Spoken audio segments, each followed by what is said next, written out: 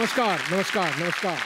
Parle बेक्समिथ Marisa प्रस्तुत कानाला खडा को powered by Vaseline special partners Godrej number one आणि क्लिनिक प्लस शॅम्पू या कार्यक्रमात मी संजय मुने तुमच्या सगळ्यांचं मनापासून स्वागत करतो. आपल्याकडे काही माणसं अशी असतात ज्यांचं व्यक्तिमत्व ते काम करत असलेल्या क्षेत्रापेक्षा अगदी वेगळं असतं भिन्न असतं. आणि तशीच आपली आजची पाहुणी आहे. नायिका म्हणून तिच्या सौंदर्यामुळे उत्तम अभिनयामुळे ती तुमच्यापर्यंत पोचली. पण मुळात तिचा स्वभाव आहे ना गुंडासारखा आहे गुंडासारखा. तिला हवं ते ती मिळवतेच. मग ते सडेतोड बोलून असो किंवा तोडून फोडून.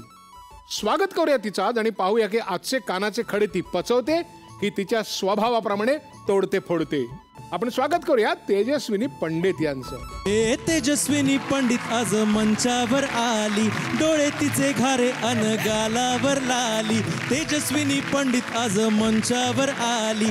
डोळे तिचे घारे अन गालावर लाली. स्वभाव सडे तोड तिचा थेट बोलते. कानाचे खडे बघूया कसे फोडते. तेजस्विनी पंडित आज मंचावर आली. डोळे तिचे घारे अन गालावर लाली. तेजस्विनी पंडित आज मंचावर आली. डोळे तिचे घारे अन गालावर लाली. Thank you thank you JD thank you thank you आहा त्या स्वागत गीतावरनं एक गोष्ट लक्षात आली की तुझा स्वभाव आणि तुझं दिसणं हे फार अगदीच वेगळं भिन्न आहे. हा? हे कसं आहे? आपण पहिल्यापासून थेट सुरूच करूया. मी लहानपणी एक तर खूप हट्टी होते चिडचिडी होते आणि गुंड होते. हा तू म्हणालास ते अगदी शंभर टक्के खरं आहे की मी लहानपणापासूनच गुंड होते ते मी अजूनही गुंडच आहे. गुंड म्हणजे काय? म्हणजे पंगे घ्यायचे मुलांबरोबर. मी माझ्या ॲक्च्युली मैत्रिणी नाही आहेत म्हणजे खूप कमी आहेत. आता आहेत इंडस्ट्रीतल्या पण लहानपणी माझ्या मैत्रिणी अगदी हार्डली एक दोन असतील. पण मॅक्सिमम मित्रच. त्यामुळे मुलांमध्येच वाढलेली मुलांसारखेच कपडे घालणारी मुलांसारखीच वावरणारी चाल पण मुलांसारखीच असं सगळं एकंदरीत मुलांमध्ये वाढल्यामुळे त्यांच्यावरचा प्रभाव खूप होता माझ्यावरती. एखादा पंगा घेतलेला आठवते का शाळेतला? शाळेतला नाही पण हो म्हणजे पंगा म्हणजे असा होता की माझ्या मैत्रिणीला छेडलं होतं आमच्या कॉलनीमध्ये एकाने. म्हणजे तो एक ग्रुप होता एक टवाळा मुलांचा ग्रुप. मी बसस्टॉपला तिला सोडायला चालले होते. मला त्यांचा राग आला. म्हणून मी त्यांना बोलले. अजिबात ही पद्धत म्हणजे चुकीची आहे. हो, श्रीमान असं तर म्हणजे आता नाही, हा. टेलिव्हिजनवरती नाही हा, शकत. तर मग मी तिला सोडलं आणि परत आले. आणि मी माझ्या माझ्या ग्रुपबरोबर अ, आमच्या घराच्या समोर एक मंदिर होतं. तिथे मी खेळत होते. आणि अचानक खूप सारी मुलं ट्यूबलाईट्स घेऊन हॉकी स्टिक्स घेऊन अशी खूप सारी मुलं आली. आणि मी आणि माझा मित्र किंवा आमचे जे चिल्लेपिल्ले होते आमच्याबरोबर ते आम्ही काही प्रिपेअर्डच नव्हतो. आणि मग माझ्या घरच्यांना आतमध्ये जाऊन माझ्या आईला बातमी सांगितली की तेजू बाहेर मारधोड करते आहे लोकांना मारझोड करते तर तुम्ही एकदा चला. आणि तोपर्यंत माझ्या मांडीवरती हॉकी स्टिक बसली होती. तोपर्यंत माझ्या मित्राच्या पाठीवरती ट्यूबलाईट फुटली होती. माझ्या मित्राचा डोळा इंज्युअर झाला त्याच्यामध्ये. आणि मग माझ्या आईवडिलांनी मला पोलीस स्टेशनमध्ये नेलं. मलाही नेलं. त्या मुलांनाही नेलं जे आमच्याबरोबर भांडत होते. मग मी त्या पोलीस स्टेशनमध्ये सांगितलं की असं असं माझ्या मैत्रिणीला छेडलं होतं आमच्या कॉलनीमध्ये. आणि नंतर हेच मी त्यांना बोलले म्हणून हेच मारजोड करायला आले. तर मग मला तो जो दानपट्टा असतो ना त्यांचा तो मला पोलिसांनी असा पुढे केला. ते म्हणाले मार. तर मी म्हटलं काय? तर ते म्हणाले आत्ता आमच्यासमोर या मुलांना मार. आणि मग मी मारलं. आणि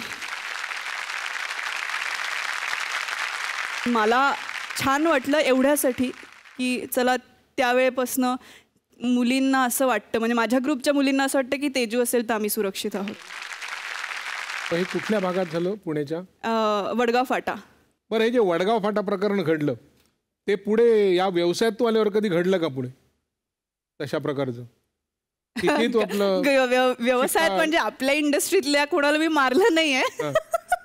इच्छा असली तरी.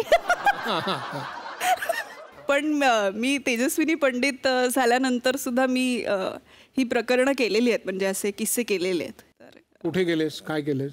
मी माझ्या शूटिंगचं लेट नाईट पॅकअप आता आपल्या शूटिंगचे स्केड्युल्स तर खूप इरॅटिक असतात. आमचं रात्री एक एक दोन दोन वाजता पॅकअप होतं. त्याच्यानंतर आम्ही घरी जायला निघतो. तर मी तेव्हा मुंबईमध्ये शेअर बेसिसवरती राहायचे आणि घराची खूप आठवण यायची.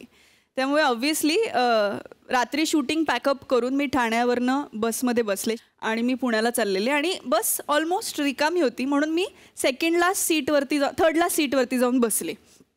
आणि जेव्हा सीट रिकामी असते तेव्हा आपण बहुतांश माणसं आडवे झोपतो ना सीटवरती तर मी तशी आडवी जाऊन झोपले आणि वाशी का कुठेतरी एक मॅन चढला वाशीला आणि तो माझ्या मागच्या सीटवर येऊन बसला म्हणजे सेकंड लास्ट सीटवरती येऊन बसला.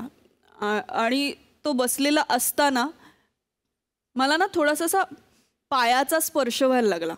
सीट असं असं असतं ना सीट हो. तर इथून गॅप असते ना तर तिथनं मला त्याच्या पायाचा स्पर्श लागायला लागला. तर मला आधी असं वाटलं की आपण असे पाय ठेवतो ना वर चुकून झालं असेल. म्हणून मी आधी इग्नोर केलं. सेकंड टाईम मी इग्नोर केलं. थर्ड टाईम ना मला तो पाय मूव होताना फील झाला. आणि मग माझी सॉलिड अटकली मी म्हटलं आता आता याला धरायचं. म्हणून त्यांनी नेक्स्ट टाईम तसं केलं तर मी त्याचा पायच धरला. आणि मग मी उठले आणि मी मोठमोठ्याने बोलायला लागले. आणि मी मोठमोठ्याने बोलते मी त्याच्याशी वाद घालते की तू काय करत होतास? तू काय करत होता? तू आत्ता मला शिवत होतास का? असं मी बोलते तर बसवाले मला उलट म्हणत होते मॅडम जाऊ दे ना. तर माझं असं जाऊ दे ना? मी म्हटलं हे म्हटलं भाई तुमच्या घरातल्या एखाद्या बाईबरोबर झालं असतं तर तुम्ही काहीतरी स्टँड घेतला असता ना? आणि मग मी त्याला गचंडी धरली त्याची आणि मी असं शेजारी माझ्या फर्स्ट सीटवरती मी त्याला घेऊन बसले. अशी. म्हटलं आता तुला नाही सोडत मी. आणि मग फायनली शिवाजीनगर पोलीस स्टेशनला पुण्यात उतरले. त्याला पोलिसांच्या ताब्यात केलं आणि मग शांत झाले.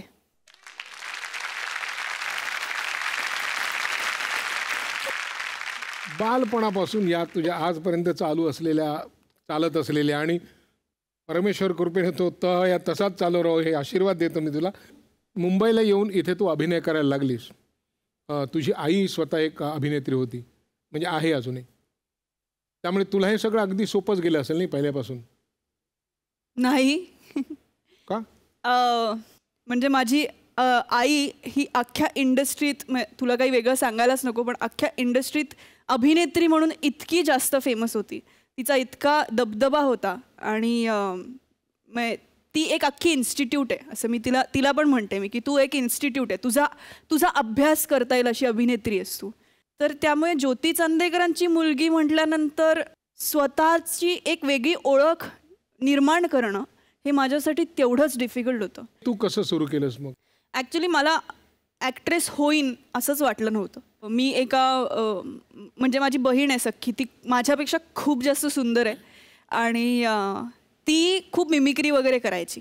त्यामुळे आईवडिलांना बरं लहानपणी पण आम्ही जी बालनाट्य केली होती त्याच्यामध्ये ती लीड रोलला असायची. आणि मी असं कुठला तरी साईड रोल वगैरे असं कॅरेक्ट कॅरेक्टर रोल वगैरे करायचे. त्यामुळे माझ्या आईवडिलांना कधीच वाटलं नव्हतं की तेजू या क्षेत्रात येईल. त्यांना कायम असं वाटायचं की हा पौर्णिमा कदाचित आईच्या पावलावरती पाऊल देईल. पण दिदीला दीदीला काही कधीच म्हणजे ती पुस्तकी किडा होती त्यामुळे तिला कधीच फार इंटरेस्ट नव्हता या क्षेत्रात. आणि म्हणून एक दिवस ती कॉलेजच्या लेक्चरला असताना किर्लोस्कर पंप्सची ॲड चालू होती पुण्यामध्ये. तर तिकडे मी माझी मला आई म्हणाली की दिदी दीदी नाही आहे तर तू जा ट्राय युअर लक आणि मी खरं म्हणजे व्हेरी जेन्युनली मी खूप टाइमपास म्हणून गेले होते. मग मी गेले तिकडे ऑडिशन दिली. आणि मग फर्स्ट थर्टी फाईव्ह मुलींमधनं मी सिलेक्ट झाले आणि ती अंकुश चौधरीच्या ऑपोजिट ॲड होती. तर त्याच्याबरोबर काम करा पहिलीच ॲड आणि अंकुश चौधरीच्या ऑपोजिट इथेच मी संपले होते. मी इथेच आता तो माझा खूप घट्ट आणि जवळचा मित्र आहे.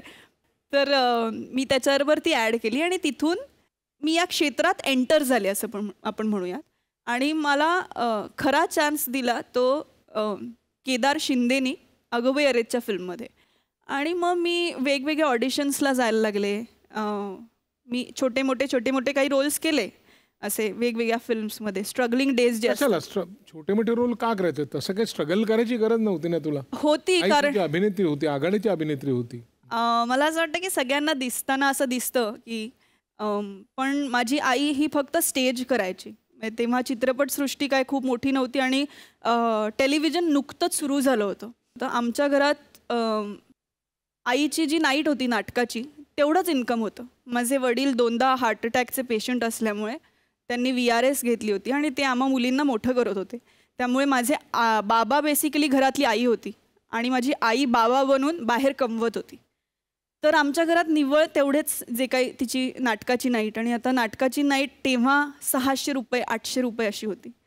महिन्यातले आपण जरी असं पकडलं की काही चार प्रयोग झाले सहा प्रयोग झाले. कारण पूर्वीसारखं नव्हतं. आईच्या काळात जेव्हा प्रयोग व्हायचे तेव्हा महिन्याला ते दौरे करायचे ते पंधरा पंधरा वीस वीस दिवस किंवा महिनाभर बाहेर असायचे. पण नंतर हळूहळू हे कमी झालं होतं. आणि सगळ्यात मोठा सेटबॅक बसला होता आम्हाला जेव्हा आई प्रशांत सुभेदार नावाचे जे ॲक्टर होते त्यांच्याबरोबर चार नाटकं ॲट अ टाईम करत होती.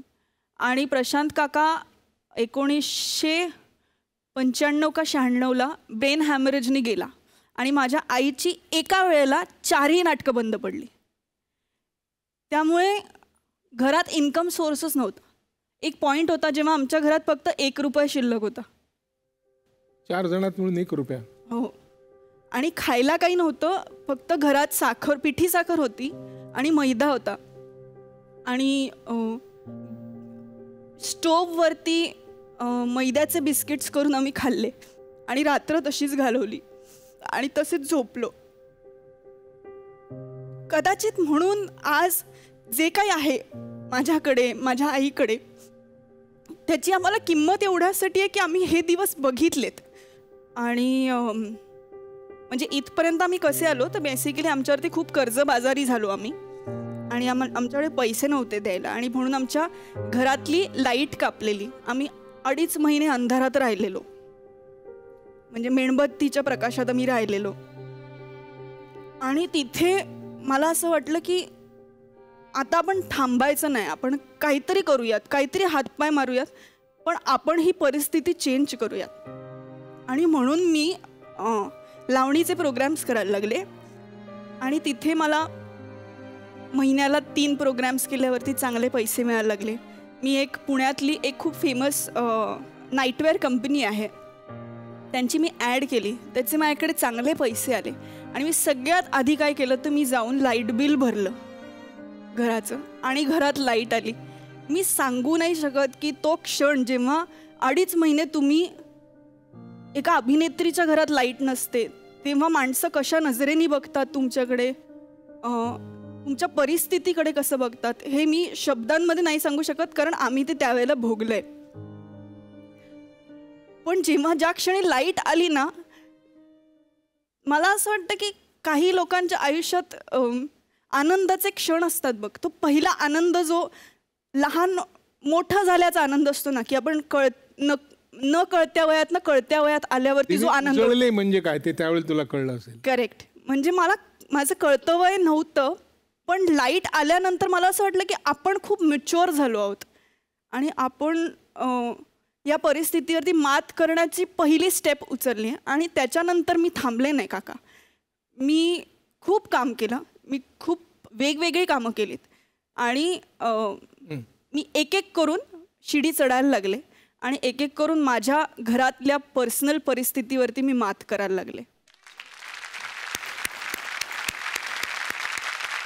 तुझ्या आईच्या बरोबरीने तू उभी राहिलीस त्यावेळेला. शंभर टक्के. तर ती म्हणजे आई इथे येते पुन्हा तुझ्या बरोबर.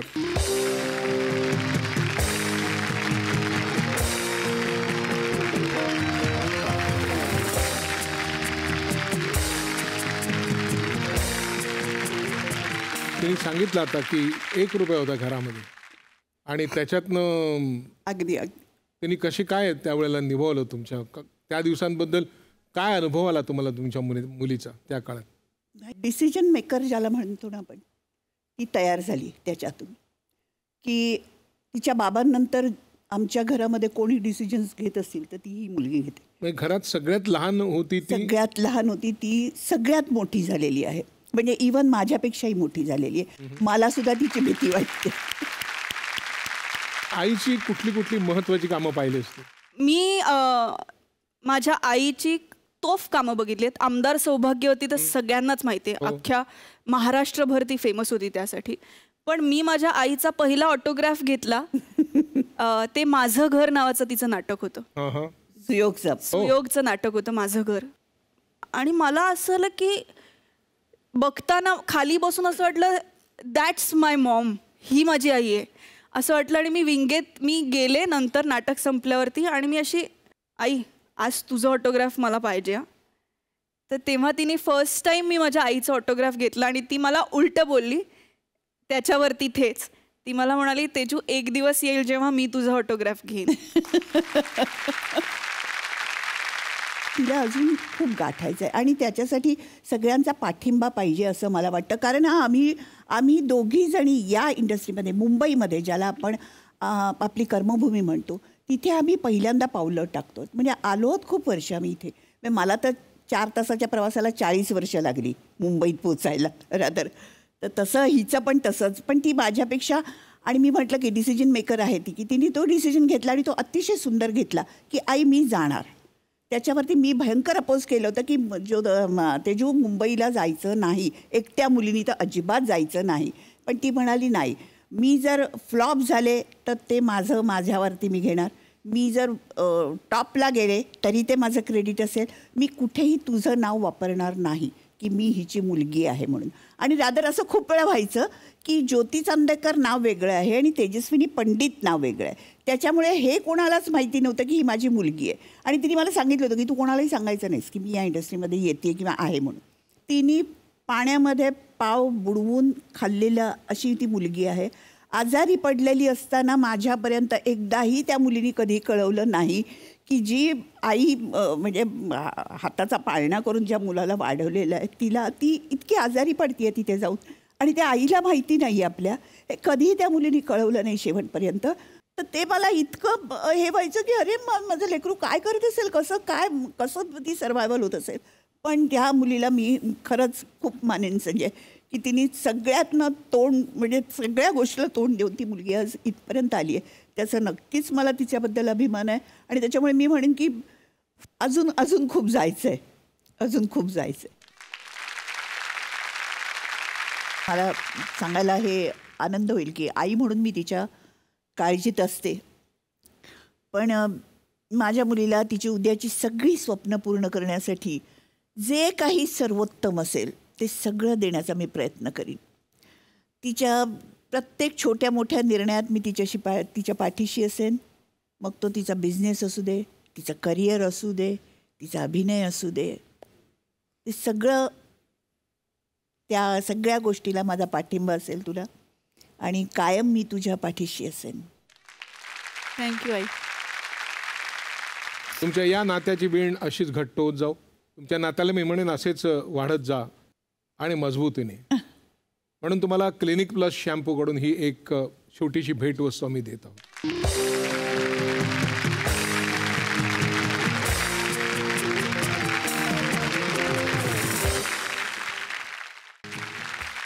पर तसं कोणी तसं कंट्रोल करू शकणार नव्हतं तुझ्या घरात. मामा काका काकू आत्या कोणी? नाही बाबा. बाबाच होता एकच एकच. माणूस आमच्या घरातला तिला. आत्ती म्हणतेस तू ती पण नाही? हा ती पण. ती मला आणि हिला दोघांनी कंट्रोल करते आता आपण तुझ्या आत्तीलाच बोलू.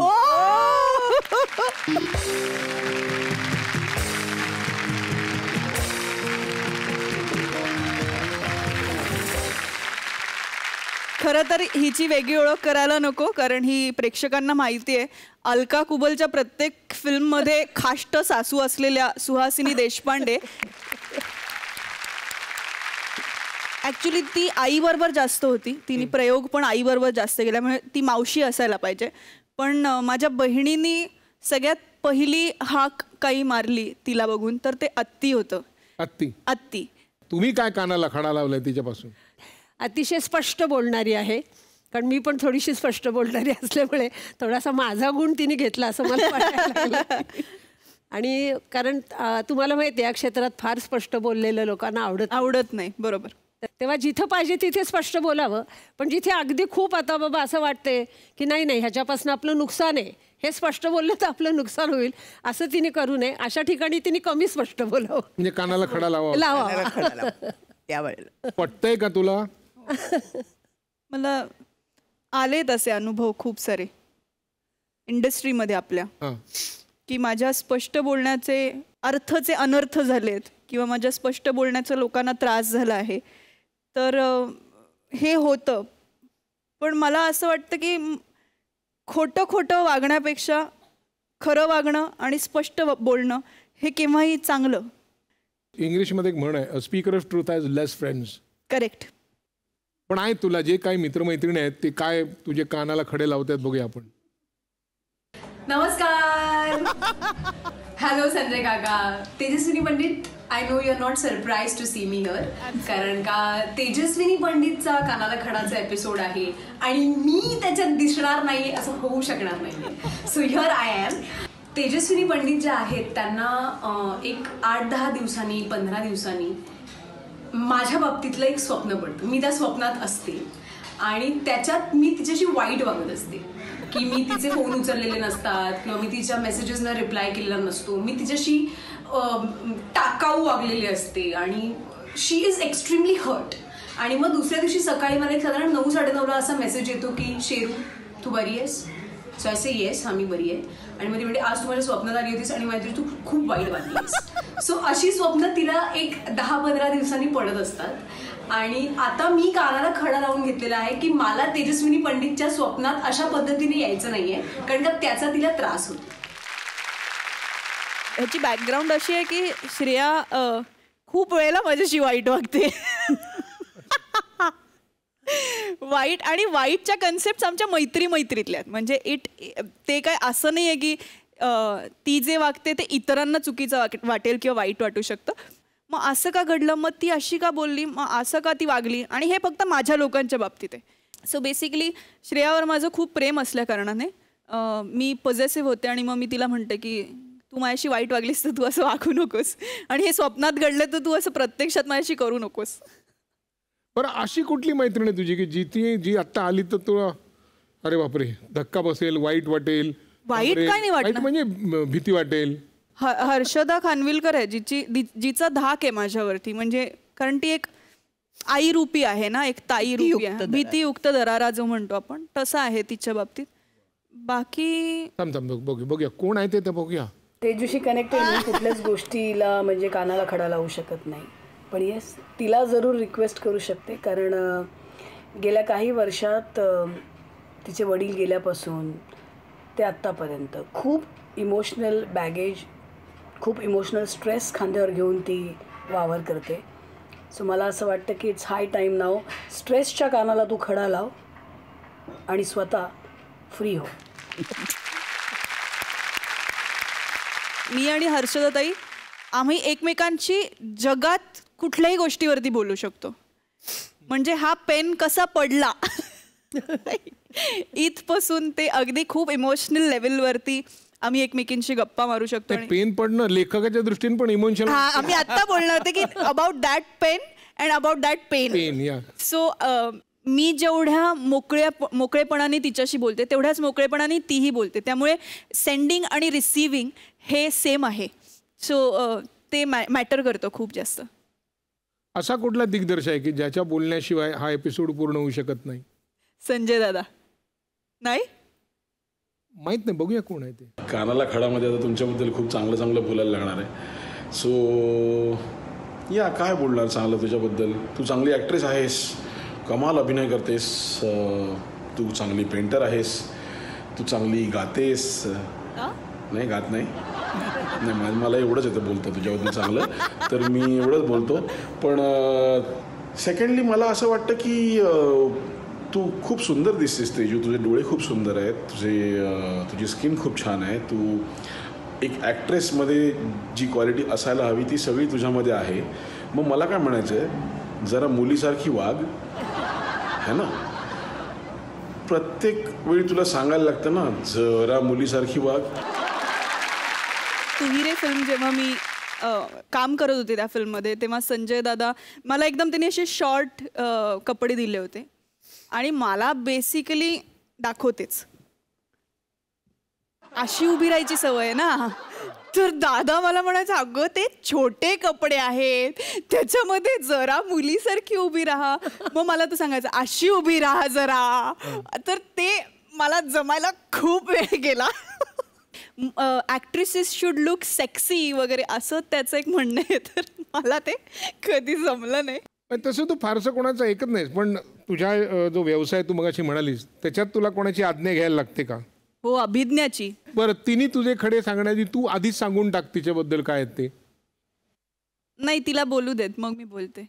तेजस्विनी माझं असं म्हणणं आहे की तू कानाला खडा लावला पाहिजेस एका गोष्टीसाठी.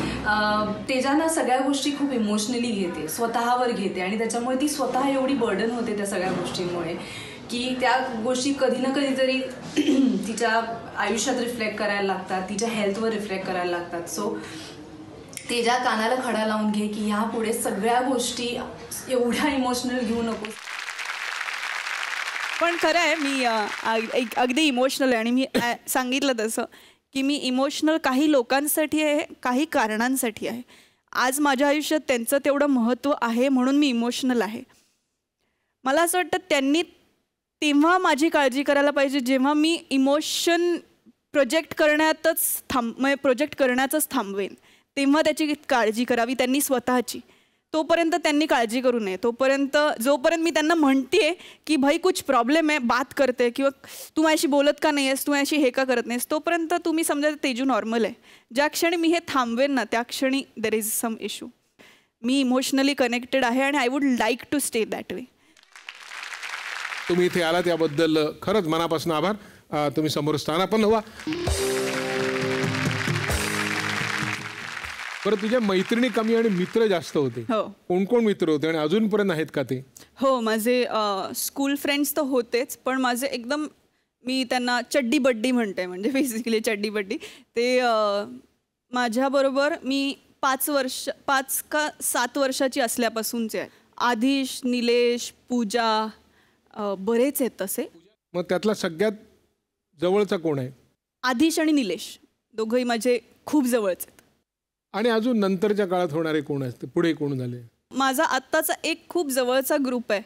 ज्याच्यामध्ये परत आधिश निलेश आहेतच आणि माझा अत्यंत जवळचा म्हणजे माझा ऑलमोस्ट जीव की प्राण आहे तो धैर्य. आधी तू धैर्य गोळा कर. हां. तुझे काही मित्र येणार आहेत. ओके. या. त्याच्या आपण इंटरेस्टसाठी खास म्युझिक तयार केलंय. द्या बरं.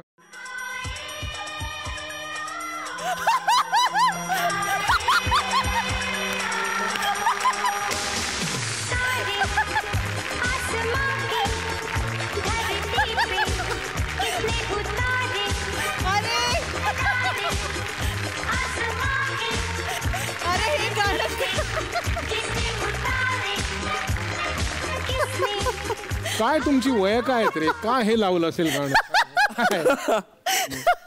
ऍक्च्युली ह्याच्या मागे किस्सा आहे.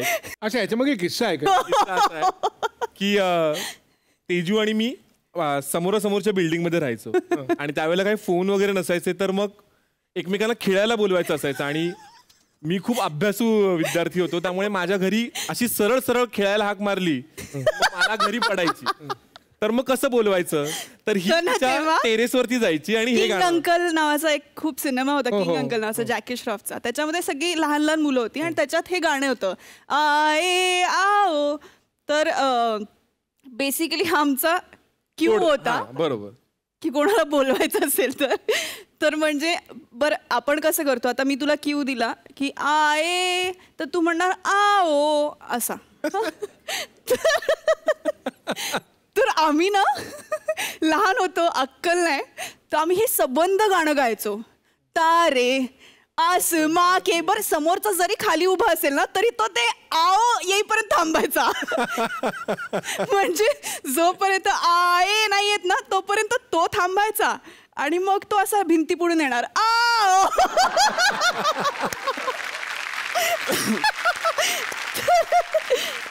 त्यांची ओळख येस हा आधीच आहे. हा जो मी म्हटलं की अगदी माझा चड्डी बड्डी आहे म्हणजे वयाच्या पाचव्या सातव्या वर्षापासून आम्ही एकत्र आम्ही एका बालनाट्यात काम करायचो. आणि डान्स आणि डान्स पण. आणि तो धैर्य आहे. तो माझा ॲक्च्युली मी झी मराठीवरतीच एकाच या जन्मी जणू नावाचा एक शो करत होते. त्याच्यामध्ये त्यांनी माझ्या लहान भावाची भूमिका केलेली. आणि त्या सिरियलपासनं आम्ही जे घट्ट मित्र झालो आहोत ते अजूनही म्हणजे रॉक सॉलिड आहोत. तू तर किती पाच सात वर्षाचा असल्यापासून आहेस ना? हो. अनेक वर्ष आहेस. अनेक वर्ष. मग कान तसे क्लीन दिसतात तुझे. स्वच्छ काय खडेबिडे नाहीत का? काय नाही आहेत. बरेच खडे आहेत. काय काय आहेत? लहानपणी जो सगळ्यात पहिला खडा लावला होता की तिच्या बरोबर कधीही मारामारी करायची नाही. कारण त्याचा मोठा किस्सा असा. म्हणजे ती मारामारी करायला बोलवायची मारायची? नाही नाही कसंही. भांडण हो काय हो मारामारी करायची नाही. ते अल्टिमेटली आपल्याच अंगाशी. हा किस्सा आहे. आणि हा मेजर किस्सा आहे हा. आणि त्याच्यातनं तिची आणि माझी मैत्री खूप स्ट्रॉंग झाली.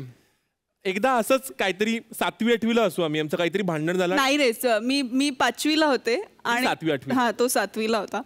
तर मेजर भांडण म्हणजे हाणामारी आणि भांडण मी झाल्यानंतर त्याला खूप मारलं आणि तो पण बघत नव्हता की मी मुलगी आहे कारण मी नव्हतेच तशी. तर तोही मला खूप मारत होता. आम्ही एकमेकांना खूप मारलं आणि तो जोरात माझ्या घरातल्या सोफ्यावरती पडला आणि माझा सोफा तुटला. असा. म्हणजे असा तुटला मध्ये.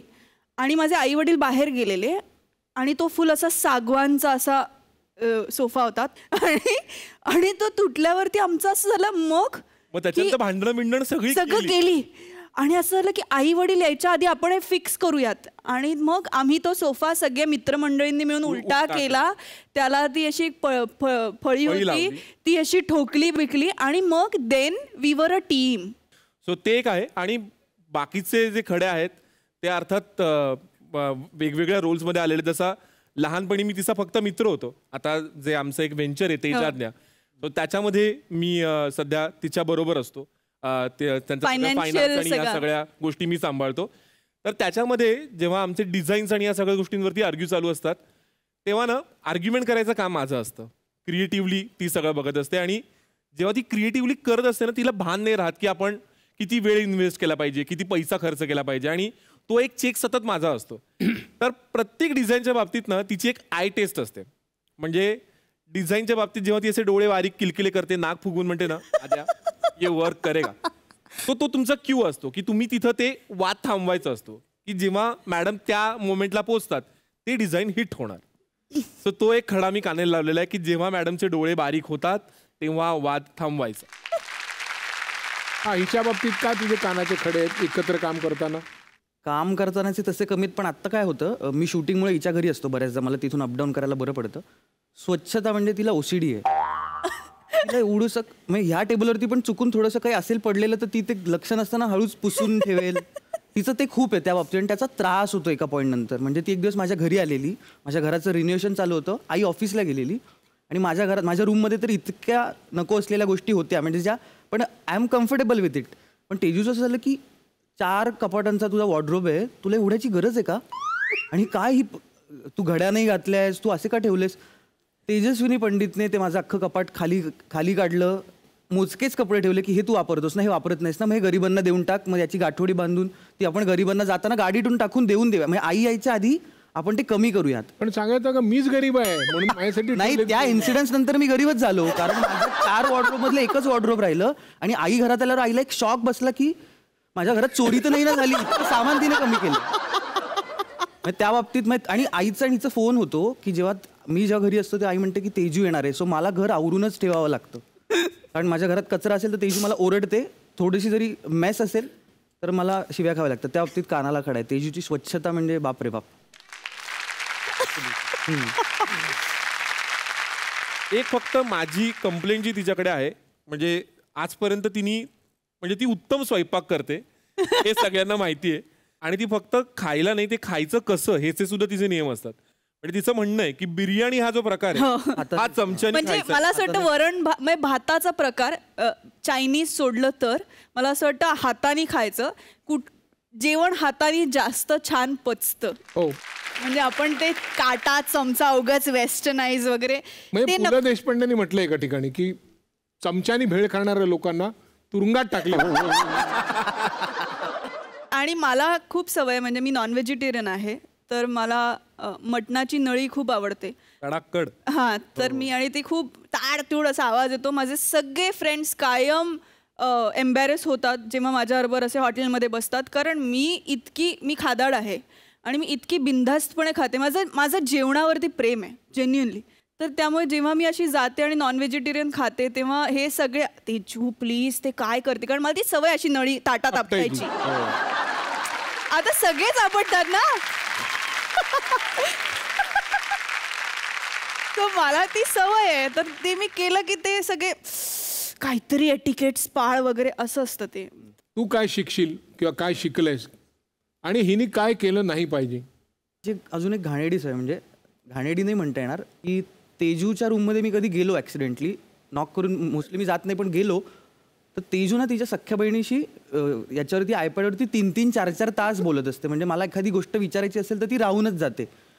पाच मिनिट दहा मिनिट आपण बोलू शकतो आणि ती आणि तिची बहीण ना एका विशिष्ट आवाजात बोलतात एकमेकांशी. exactly, आणि exactly. तो आवाज आहे ना आपल्याला पाच मिनिट छान वाटतो दहा मिनिट छान वाटतं गो किती बोलते पण ती तीन तास त्या दोघी एकमेकींशी त्या आवाजात कसं बोलू शकतात ना मला कळतच नाही. तुम्ही तिला विचारा. तिची तू तो आवाज त्यांना काढून कर दाखव. ना कर ना. एकदा तिचं नाव ना पौर्णिमा आहे. पण तिला आमच्याकडे एक छोटी मुलगी यायची पूर्वी कॉलनीमध्ये. ती तिला पोरबीबा म्हणायची. तिला बोबडी होती त्यामुळे तिला पौर्णिमा म्हणता नाहीचं तर पोरबीबा म्हणायची. तेव्हापासून तिला नाव पोरबीबाच पडलंय माझ्या सख्या. माझं भयंकर जीव आहे तिच्यावरती. आणि माझ्या बहिणीशी बोलण्याची माझी एक पद्धत आहे. म्हणजे मी आता ऍक्च्युली ती समोर नाहीये त्यामुळे मला कमी मी क्यू देतो. हा बोला ना काहीतरी. हा काय करते छोटी तुम्ही? हा आम्ही आता जस्ट थोडस हे केलं म्हणजे थोडी साफसफाई केली आहे घरात. हा. आणि अ, आता जस्ट मांडी घालून बेडवरती बसून तुमच्याशी बोलतोय. दाखवा ना आम्हाला. काय दाखवू? तुम्ही कसे बसले दाखवा ना आम्हाला. मांड मांडी घालून आत्ता मांडी नाही घालू शकत आमचे ड्रेस खराब होईल ना. पाच मिनिट ठीक आहे. तीन तीन तास बोलते सर. म्हणजे माझं एखादं काम घेऊन मी तिच्या रूममध्ये जातो ना की आत्ता तेजू येते माझा उत्साह serious लेवल. मी दरवाजा उघडून गेलो. ओके ओके ती बोलतीये. परत एक दहा मिनिटांनी गेलो. ओके ती बोलतीये. परत गेलो. अरे यार मीच माझं माझं करतो. त्या अशा गोष्टींमुळे मी स्वावलंबी झालोय. ती करत असते. बघूया ना ती पोबीबा काय म्हणते तुम्ही? पोरबीबा. पोबिका काय? पोरबीबा पोरबीबा हा. माझ्या आणि तेजू बाबतीत एक गमतीची गोष्ट आहे की मी जेव्हा पण तेजूला काही समजवायला जाते किंवा थोडा कुठेतरी वाद घालायला जाते तर तेजूची वकील वृत्ती इतकी चांगली आहे किंवा तिचे जे ते स्किल्स आहेत ना ते इतके चांगले आहेत की ती अक्षरशः शब्दात गुंडाळते समोरच्याला आणि म्हणजे मी जो पॉईंट ठेवला असेल समोर तर तो मी नेहमी हरते आणि मला असं होतं की मी का हा वादाचा विषय काढला? किंवा मी किती चुकीचं बोलते हे आपल्याला स्वतःला असं जाणवायला लागतं. आणि मी तर कानाला खडं लावलंय की तेजूबरोबर वाद घालायचे नाहीत. वादग्रस्त विषयांवरती तर नाहीच नाहीत. नाही पण हे खरं तिने जे आत्ता सांगितलं ना की ती तुम्हाला पटवून देऊ शकते की आता हा रंग निळा आहे ना तर मी म्हटलं तेजू हा रंग निळा आहे मला मा- तर तेजू तुम्हाला असं पटवून येईल की हा रंग हिरवा आहे. मग तिचं लॉजिक तिचं असेल आणि एका म्हटलं मलाही पटतं की हो ग मी मी घा- मी घाऱ्या डोळ्याची आहे, माझ्या विजनने तू बघ हा रंग हिरवा आहे. मग ती काही बोलेल. आणि आपल्याला विश्वास बसतो की अरे हो यार हा रंग इतकी ती प्रो आहे झगड पिल्लू. आणि शेवटी सगळ्यात हे जे असं मग तेच तर मी आधीपासून तेच सांगते तर मी- ना फालतू मी- का मी काय- माझा वेळ वेळ घालवला एवढा? तिची ती लाईन आहे मी काय कानडा राग गातो. हा, हा. मी काय कानडा रागाती इतक्या वेळ असं तिचं हे असतं. आणि मग आपण असेच मान खाली घेऊन अरे हो तूच बरोबर होतीस असं होतं. धन्यवाद. अजून काही पुढचे खडे आहेत आपण बघूया काय. ते समोर स्थान आपण नवं.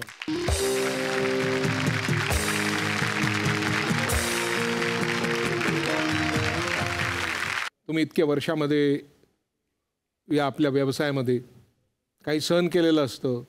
काही वेळेला कोणाबरोबर आपलं वाद झालेला असतो कोणाला तोंडून चार शब्द गेलेले असतात. नंतर आपल्याला कळतं की थोडी चूक झाली पण राहून जातं. जे काही बोलायचं राहून गेलं असेल त्याच्यासाठी प्रत्येकाला हा वेळ दिला जातो. इथून पुढे तुला जे काही सांगायचं असेल काही कबूल करायचं असेल काही मत मांडायचं असेल तर तू मांडू शकतेस हा वेळ पूर्णपणे तुझा आहे. मला माझ्या बाबांना सॉरी म्हणायचं आहे माझ्या बाबांना ना विमान प्रवास करायची खूप इच्छा होती. आणि आउट ऑफ इंडिया जायची खूप इच्छा होती. आणि मी बाबांना आणि आईला मार्चमध्ये श्रीलंकेला पाठवणार होते असंच फिरायला आणि त्याच्यानंतर एप्रिलमध्ये यू एसला. असं मी सगळं ठरवलं माझे सगळे मी सेविंग्स रेडी केले. आणि माझं बाबा दोन फेब्रुवारीला काहीच न बोलता केला. तर मला त्याला सॉरी म्हणायचे व्हेर एव्हर यू आर की माझ्या ज्यानं आधी तुला आउट ऑफ इंडिया पाठवणं शक्य झालं नाही कारण मी माझ्या करिअरमध्ये खूप झगडत होते. माझ्या करिअरमध्ये मी माझं स्थान निर्माण करण्याचा प्रयत्न करत होते त्यामुळे मी खूप पळत होते. आपण पळत असताना आपले आईवडीलही म्हातारे होत असतात हे आपल्याला जाणवत नाही. आणि मलाही ते जाणवलं नाही. आणि मी नकळतपणे या गोष्टींकडे दुर्लक्ष केलं. So I just want to say sorry to you की मला जे शक्य होतं ते मी आधी केलं असतं तर तुझी जी इच्छा आहे ती मी पूर्ण करू शकले असते. पण मी प्रयत्न केला बाबा. मी मुलगी म्हणून जे जे करू शकत होते तो प्रयत्न मी केला आणि मला खात्री आहे बाबा आज जिथे कुठे असेल he'll be he'll be very happy to see me where I am today now and forever I love you बाबा.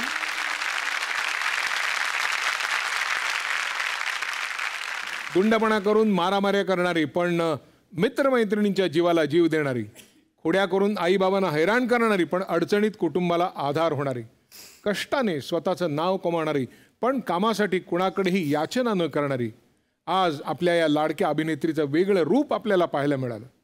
इथून पुढे तिच्या आयुष्यात जर कठीण प्रसंग आले तर तिने तिच्या नेहमीच्या स्टाईलने ते तोडावे फोडावे अशा तिला शुभेच्छा देऊया. आणि याच नोटवर थांबूया. परत भेटूया. याच कार्यक्रमात ज्याचं नाव आहे पार्ले बेक्स्मिथ मारे सह प्रस्तुत कानाला खडा को powered by Vaseline special partners Godrej number one आणि क्लिनिक प्लस शॅम्पू